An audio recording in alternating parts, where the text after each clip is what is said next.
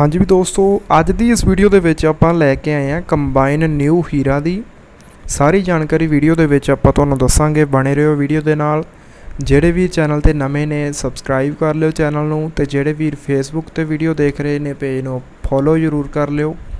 Channel ਦਾ number screen ਤੇ show ਹੋ ਰਿਹਾ ਹੈ। ਤੁਸੀਂ ਇਸ ਨੰਬਰ ਤੇ ਆਪਣੇ ਸਾਧਨ ਦੀ 2 ਮਿੰਟ ਦੀ ਵੀਡੀਓ ਭੇਜ ਕੇ ਕਰਵਾ ਸਕਦੇ ਹੋ ਐਡ ਬਾਕੀ ਆਪਾਂ ਹੁਣ ਗੱਲ ਕਰਾਂਗੇ ਇਸ ਕੰਬਾਈਨ ਬਾਰੇ ਜੀ। ਨਿਊ ਹੀਰਾ ਕੰਬਾਈਨ ਹੈ ਇਹ 2013 ਮਾਡਲ ਹੈਗੀ। 2013 ਮਾਡਲ ਕੰਬਾਈਨ ਹੈ, ਨਿਊ ਹੀਰਾ ਦੀ ਪੰਜਾਬ ਨੰਬਰ ਹੈ ਜੀ ਕੰਬਾਈਨ ਇਹ। ਪੇਟੀਵੰਦ ਇੰਜਨ ਹੈ।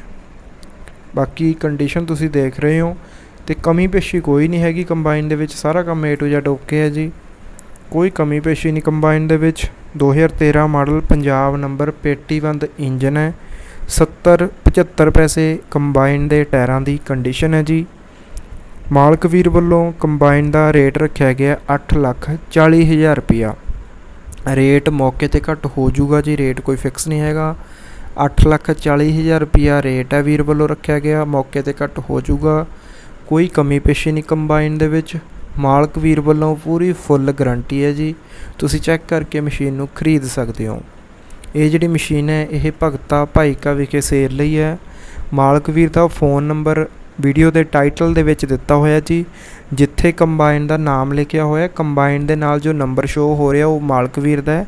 ਤੁਸੀਂ ਇਸ ਨੰਬਰ ਤੇ ਗੱਲਬਾਤ ਕਰਕੇ ਖਰੀਦ ਸਕਦੇ ਹੋ ਇਸ ਕੰਬਾਈਨ ਨੂੰ। ਬਾਕੀ ਇਹ ਵੀਡੀਓ ਚੰਗੀ ਲੱਗੀ ਤਾਂ ਮੇਰਾ ਭਰਾ ਸ਼ੇਅਰ ਜ਼ਰੂਰ ਕਰ ਦਿਆ ਕਰੋ। ਤੇ ਫੇਸਬੁੱਕ ਵਾਲੇ ਵੀਰਾਂ ਨੂੰ ਬੇਨਤੀ ਹੈ ਜਿਹੜੇ ਵੀਰ ਫੇਸਬੁੱਕ ਤੇ ਦੇਖ ਰਹੇ ਨੇ ਵੀਡੀਓ ਨੂੰ, ਆਪਣੇ ਪੇਜ ਨੂੰ ਫੋਲੋ ਜ਼ਰੂਰ ਕਰ ਲਿਓ। ਵੀਡੀਓ ਦੇਖਣ ਲਈ ਤੁਹਾਡਾ ਬਹੁਤ ਬਹੁਤ ਧੰਨਵਾਦ ਜੀ।